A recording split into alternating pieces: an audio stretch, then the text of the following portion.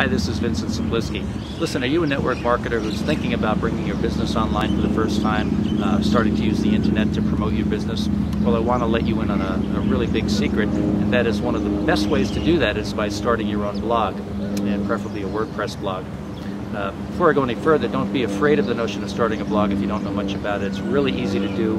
Uh, a WordPress blog, in fact, is uh, is very common. It's a very popular blogging platform, really easy to get to use. So, uh, first of all, keep that thought in mind. It's easy to do. Now, why do you want to do it? Well, first of all, your your blog will act as kind of your permanent address on the internet. In other words, it's a, a central location where you can bring traffic in from many, many different sources, uh, maybe from advertising sources or from uh, maybe social media sites like Facebook or Twitter, and uh, give those uh, contacts online a place to come and find out about you. Uh, secondly, it's going to build a lot of credibility. You know, your visitors are going to come and see you. They'll get to know you as a person and as an authority, and uh, it builds your reputation. And in the eyes of your visitors, uh, makes you a leader that they want to know more about. And by doing that, uh, makes it so much easier for you to attract them into your business.